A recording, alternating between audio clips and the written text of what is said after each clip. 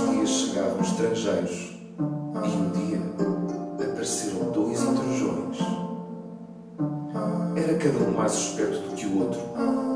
Ouviram falar da vaidade do rei e pretendem enriquecer à sua custa.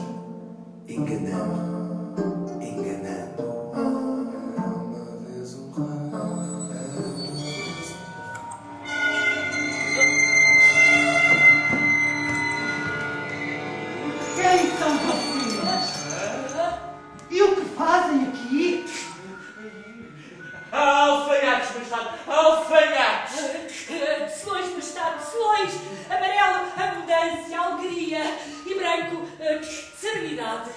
Especialistas em tecidos mágicos. Ih, que magia é essa?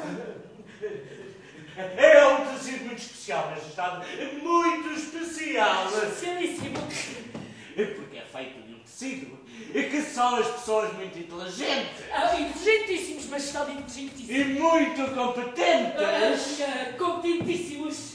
podem ver. Enfim, são mesmo.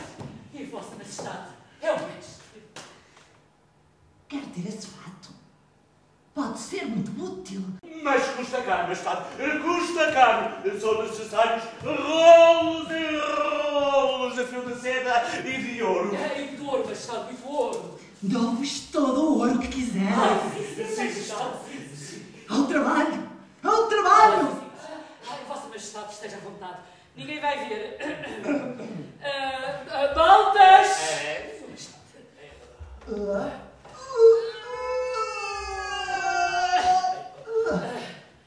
Vai ter um fato Baltas!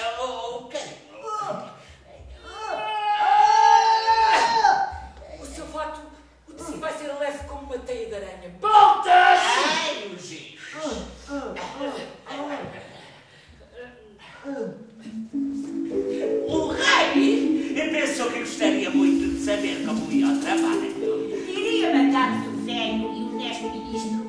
E depois iria mandar outro cortesão honesto. Precisava de saber se a obra estava adiantada.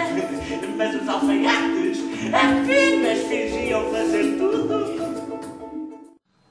Não vejo nada. Que horror. Serei burro? Não deveria ser rei? Ah, é, é, é, é muito bonito. É, é esplêndido, soberbo, é magnífico, é, incomparável. Agora não esqueçam, a roupa tem de estar pronta. Amanhã de manhã. Ah, oh.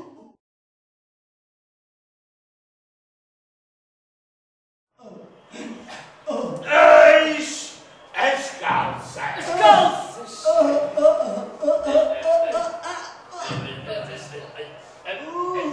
Dali